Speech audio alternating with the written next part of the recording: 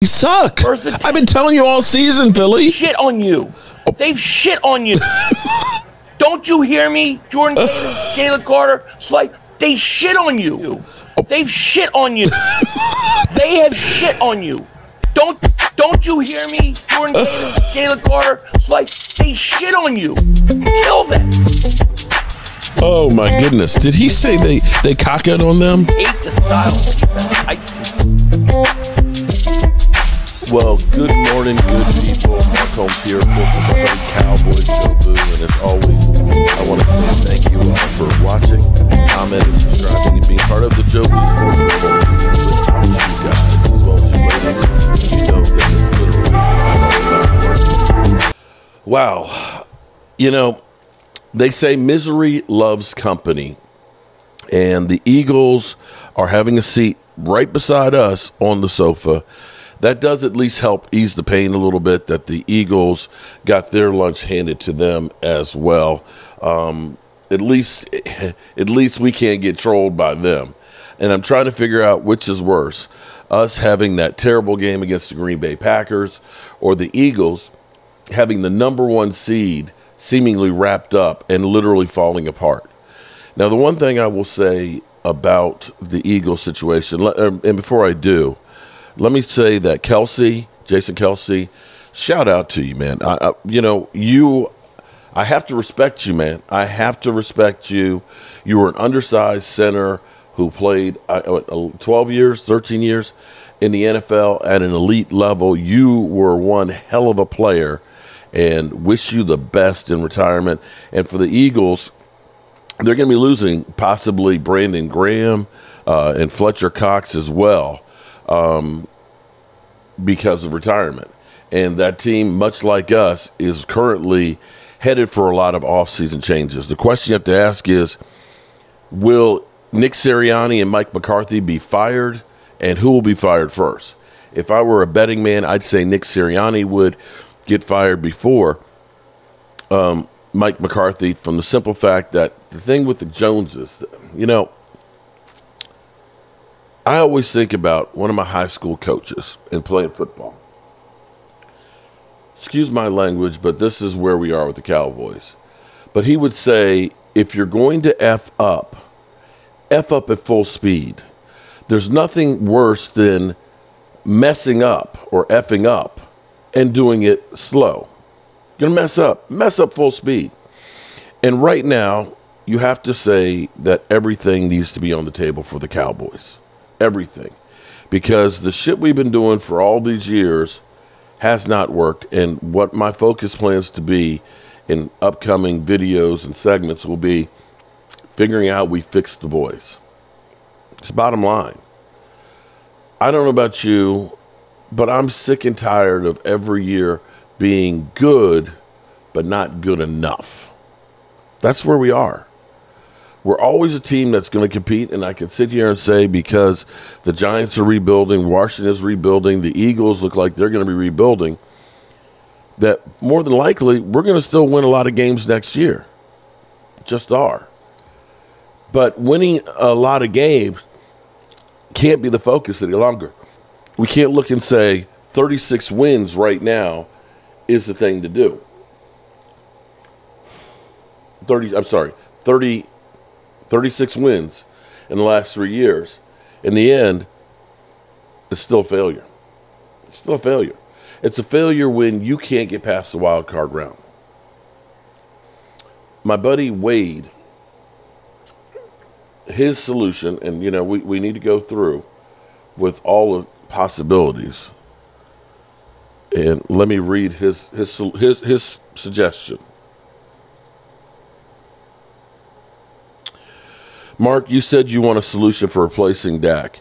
You already know the solution, Mark. You've been watching football for decades. The solution is for us to draft Mark. The Cowboys drafted Don Meredith, drafted Staubach, drafted Troy Aikman, drafted Dak. It's a dice roll, Mark. That's the answer, Mark, even if you don't want to hear it. I hear what you're saying. I hear what you're saying. But see, here's my my thoughts on the problem for the Cowboys. Um, let me pull this up because as I watch even, you know, the Eagles, which were in the Super Bowl last year, and seeing them going out there and constantly trying to get better. As I look at the San Francisco 49ers and look at the roster that they had before they decided, let's go get Hargrave, before they decided to get Christian McCaffrey, you know, before they decided to get Chase Young, before they decided to go out and get Randy Gregory, they were already a really good team. And they constantly look for more to try and get better. They don't, they're, they're never satisfied with the status quo and thinking we have enough. And see, this is the problem for the Cowboys is this flawed philosophy of Stephen Jones. We believe in our guys. Well, here's the problem. Here's the problem. We believe in our guys, but our guys aren't enough. You can't go through and think that we can just convert safeties to be linebackers and fit every need. We can't do that. We can't look and say, we're going to get rid of a bruising between the tackles back and take a scat back and say that's going to be our running back.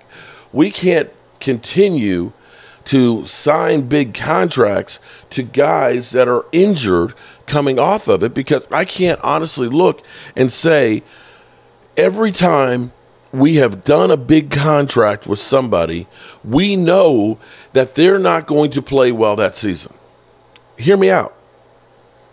D Law, when they finally decided to do the contract with them, they had pissed the guy off so much that he said, I'm not going to get my shoulder surgery done until I get my contract to get leverage.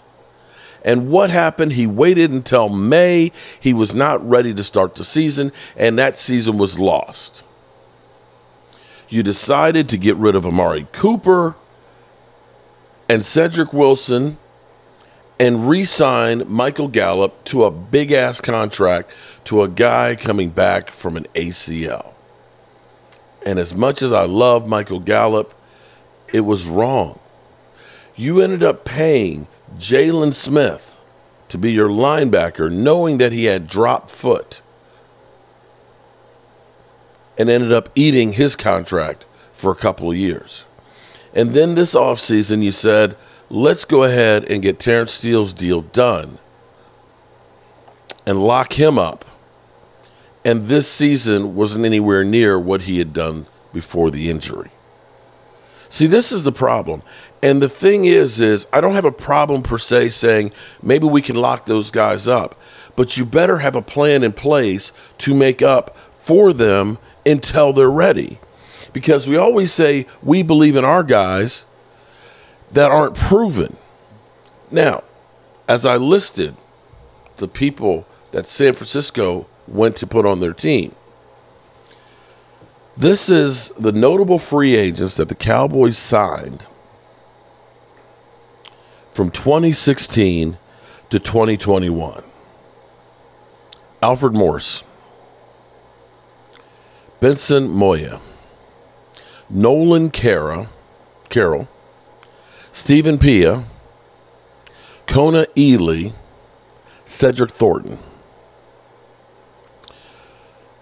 Going down the list even further George Iloka, Randall Cobb, Kerry Hyder, Tavon Austin, Jamel Alawilis, Jonathan Cooper. Going down even further, Everson Griffen, Andy Dalton, Daryl Worley, Aldon Smith, Dontari Poe, Clinton Haha Dix, and finally, at least some that, that gave us a little something. Jayron Kearse, that was a good one. Damontae Kazee, Malik Hooker has been good for us. Brent Urban, Carlos Watkins, Keanu Neal, whoa, dude, and Tarell Basham. That's it. That's the list. And my thing would be on this to, to answer your question, Wade. I'm not saying that if you were to draft a quarterback, you know, and get them for five years and have a cheap salary, it's not a bad idea if you can hit on them. But here's the problem for the Cowboys. When you think about quarterbacks, with the exception of Troy Aikman, the guys that they wanted, like Johnny Manziel or Connor Cook or um, Lynch, you can't look at this and say they've got a great track record at getting a guy. And unfortunately, we're in the 20s right now. So the problem will be is where are we getting the draft capital to move up the up in the first round to get something that would be closer to maybe a guarantee? See, the problem is for the Cowboys, like I said, we're good enough to compete against the mediocre teams and the lesser teams. But when it comes to playoff football, there to me, in my mind, was a tragic flaw of our defense being this aggressive, get after the quarterback, play with the lead type defense. Unfortunately, playoffs are a different animal, and you've got to be able to stop the run. And they tried they tried with Mazi Smith, and that didn't work this year. Hankins was legitimate defensive one technique guy. But when you look across the board at our defensive linemen, you look at our edge rushers, you don't have a lot of 300 pounders that can hold the line. Micah is incredible, but Micah at about 250 pounds, you get big man running at him, it's hard for him to hold the line. He can chase you down from the backside. But that lies the problem. And then when you don't have linebackers, when you had opportunities instead of getting Anthony Bars, a guy who's coming back from an ACL injury, when you literally could have signed a Bobby Wagner, because this is the fraud. The Cowboys say, we're not going to pay a lot for a free agent. We don't want to spend, spend money on Bobby Wagner, a guy who's healthy, who doesn't miss games, who is proven. We'd rather go ahead and sign a veteran minimum for an Anthony Barr. Now, that's not to say that the Cowboys haven't gotten the most out of them. But you look at the Cowboys when they do make moves for name players. Everson Griffen, dude was crazy in tail end of his career. Um, you think about getting Brandin Cooks.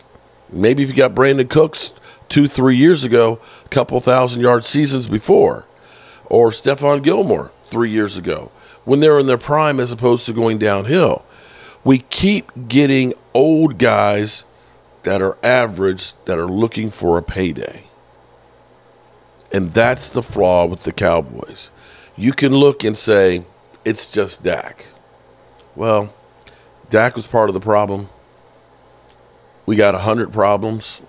Dak's one of them, but we have to address all of them.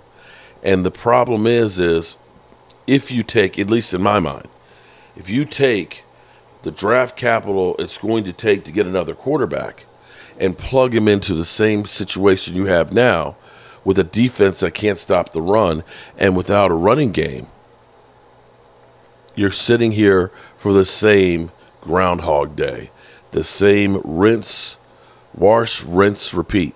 We just are.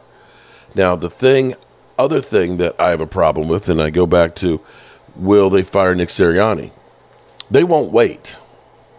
The Cowboys keep effing up at slow speed. They waited and waited and waited to get rid of Mike McCarthy, excuse me, Jason Garrett, that the quality candidates that you may want to target are already gone. So if you're going to fire Mike McCarthy, Jerry, fire the man and get it over with and start the process right now. You already know Bill Belichick is interviewing with Atlanta. We hear that Harbaugh is interviewing with the Chargers, right? We know Dan Quinn is going to the Commanders, the Panthers, um, we believe Seattle will make an appointment. um, Tennessee, and so on. If you're looking at Vrabel, do something now to get it going. Get them in as soon as possible so they can start doing what they want to do. And the final thing, again, where the Cowboys keep effing up at slow speed, if you're going to get players, get them as soon as possible to get them in the fold to understand in OTAs what you're doing. Don't wait till training camp. You don't have enough time for them to learn the system. These are all problems where we're good enough to compete, but not good enough to win it all. And that has to change. Now, like I said, watching the Eagles last night did at least make me feel a little bit better. I'm happy that they're joining us on the couch. And I will say that Philly 500's um, trolling of me didn't age very well. Let's just listen in here to Seth Joyner. I got fooled as well, Mike. I really did. I really thought that this team would come out and find a way to be inspired against the Tampa Bay Buccaneers team in a situational game like this. Um, I, am shocked, but then there's a side of me that's not shocked. And um, I think that this is a total rebuild from top to bottom. Um, it all, it all. It, Nick Sirianni has continued to say that my fingerprints are on everything on this roster. If that's the case, then he has to go. And you guys know for the last couple of weeks, I've stated again and again and again and again that I am not one to ever advocate for someone's loss of job. But the fact that he's lost this team, and people can in the locker room can say whatever they want to say about, oh, we're playing for Nick, we believe in Nick, we got Nick's back. That's a bunch of BS. Because as players, you don't go out on the field and put that product on the field mm. if you really if you really believe in your coach and his staff. Okay? Wow. That's pretty deep. So the thing at least I can say about the Eagles, they fuck up. But at least they do it at full speed.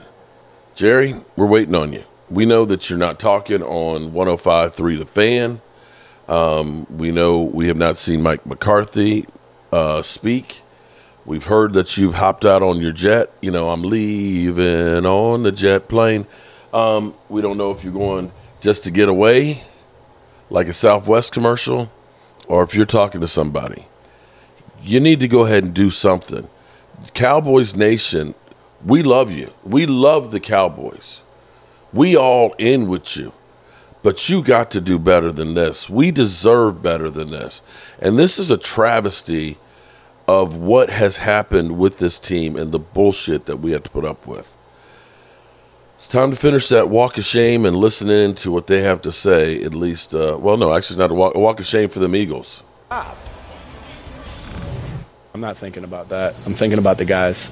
Um, again, there's a lot of guys in that locker room, all the guys in that locker room, every single one of them that put their heart and soul into this. Um, I'm not worried about me. If you want Nick back, if you want Nick back. I didn't know he was going anywhere.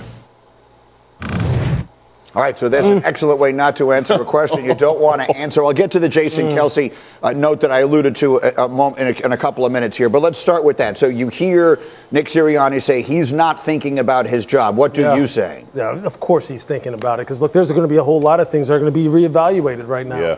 And starting procedurally with what? Look, number one if you bring Nick Sirianni back, what do you have to do as far as the coaching staff is concerned to make some changes in order for this to get back on the right track? You made changes in the middle of the season when you took Sean Desai out of there and you put Matt Patricia in there. You know, there's a lot of talk coming out of there about whether or not Sean Desai could have maybe, you know, made some changes as far as some of the assistants that he was that he wanted mm-hmm. to bring mm-hmm. in there and he wasn't allowed to bring in there. Then when you look at the football team itself, Look, the team is devoid of talent at the second level and at the third level at the safety position. Everybody attacks this team in the same way, every single person.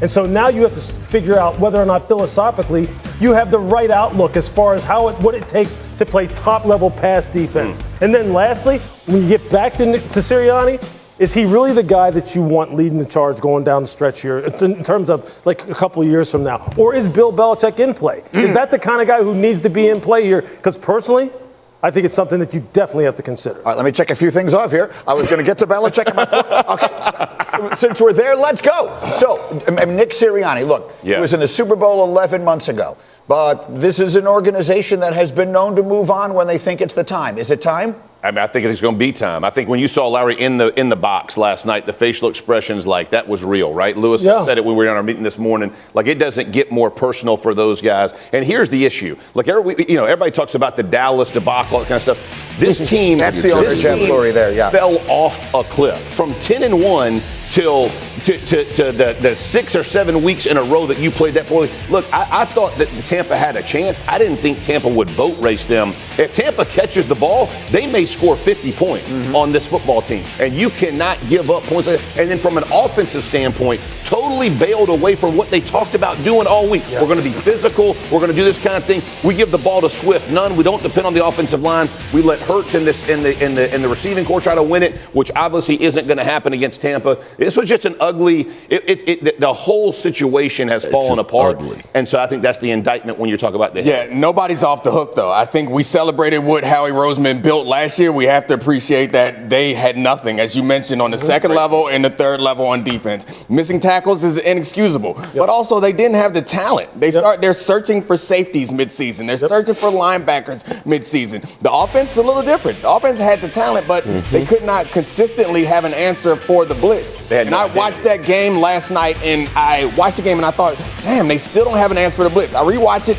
They have answers for the blitz, but they aren't killing people. They're like small, with the exception that big play down the middle of the field uh, to Smith. That was the only time when they made them pay for blitzing. So keep blitzing them. They they overload the box. They only have three DBs out there because they put extra linemen out there to stop the run. And then their answer is, we have you compromised. We have you out there with only three mm-hmm. DBs. And their answer for that is short passes, screens, and stuff. They just seem to be listless from top to bottom. it's kind of weird what you just bro- brought up. The fact that, look, this is one of the best offensive lines in football. This is a team that, from an identity mm-hmm. standpoint, wants to mash you in the mouth. They want to absolutely beat you up and bully you. Yet they wouldn't do it last night. They, got scared over the fact that Todd Bowles made some adjustments, brought some bigger people in when they thought first and second down base runs were going to be what um, that they thought that that's what Philadelphia was going to get, and they were going to try and take it away. And I asked you on the way in here, just because a team says they're going to try and take it away, does that always discourage you from actually just not. stop and running the football? Of course not. No. Especially not when you have a top two, top three offensive line. So they misused the people that they had on offense, and defensively, they misevaluated the people that they had on that side of the Yeah. football and tried to blame it on a defensive coordinator who didn't have his people in there in the first place, and then said, "Hey, look, Matt Patricia, you take over," and it looked the same way. Yeah, so quite honestly, you got a bunch of different things you have to address on different levels here. And really, if you want to talk about people who want, wanting to be held accountable, it starts at the very top and just work your way on down. Yeah. Just keep on working your way down because when you have a collapse like this, it's always multi-layered. Absolutely. I know people want to go, Sean Desai, it's you. Brian Johnson, it's you. Nah. Jalen Hurts, it may be you. You know football doesn't work like that. It's always a colossal Especially kind of group effort. Especially not when it looks like this over the course That's of right. a month. That's right. A, a That's couple right. months. Two That's months. when it's like that. You go even higher. Sirianni, Yeah, you're 'cause included. you know when they Harry ask- Roseman, when they ask get the your pl- ass out here too. Everybody got to get something. When they ask the players, they ask Jalen Hurts, well, how do you fix this? He's like, well, don't you think we would have fixed it if we knew how? Right. You know why you can't fix it? Because it's too multi-layered. Yes. Because you can't fix all those things. You can't draft people in the middle of the season. Right. What are you going to do? You're going to go out and find a coach who all of a sudden, like magically, is going to have every answer? That- no, that's you the got to do problem. that in off-season. There's a lot of things to work on here. I hear what you're things. saying, but let me ask a question on behalf of every football fan who is watching this and listening to this and saying, wait a minute, I was led to believe 11 months ago this was the most talented roster or among them go. in the NFL that drafted well again, including having Jalen Carter fall right to them. I was led to believe oh, before this season began they might be the most talented roster in the NFL. Now you're telling me they don't have answers because their roster is so bereft of talent. How did Oh, that no, happen? no. I'll t- uh, look, they, I believe they have answers on the offensive side of the ball. Absolutely. They just don't always go to them. They just don't always call on them. They don't really have the same identity this year as a year ago. So Amen. then, so then you start thinking, okay, the loss of Shane Steichen is big. Yeah. Okay, Brian Johnson, we had a lot of hopes, but it just seemed like it was a situation that he couldn't really handle. On the defensive side, on the on the front level, look on the defensive line, I still think they are better than what they showed in terms of rushing the passer. Second and third level, we talked about that is a problem. That was a problem going into the season. I think they skipped leg day on the defense side of the ball. That's They what it boils down day. to is they skip leg day. They look great up top. Swole, great pecs, nice abs, buys and tries, but they skip leg day. Yes. And so if you don't, it's important to be strong at one point, but their their their roster is not well constructed. They're not on well the defensive side of the ball. I think it's it's beautiful in offense. They got every tool that they need. All the fact I'm that they didn't execute pull there this is a different answer. right here. We've had enough misery for the day. All I ask, Jerry, is speed some shit up, man. Stop taking your damn time. If you're going to fire the man, go ahead and fire the man. And find somebody for real because the problems, and, and you know, I've already gone too long with this video, but I, I'm just sitting here looking at, at Twitter and I, you can just see the problems here start from Jerry on down, and shit has to change. If it doesn't, you're not going to attract one of those top tier coaches. That you're not going to get a Bill Belichick in here. You're not going to get a Harbaugh in here. You're not going to get these guys that want to go ahead and win because I don't know that winning is the ultimate thing. I think it's almost more of how can we go ahead and spread ourselves even further and get into everything. Jerry Jones, your business is a Cowboys and real estate in Vegas and New York. You're all over the place, which is fine. And if you're going to do that, then get people in here to run this business because you're running this one in the ground. All right, good people. You know, I love the Cowboys and I love you guys, but this shit just hurts. I'm sick of it. I just am.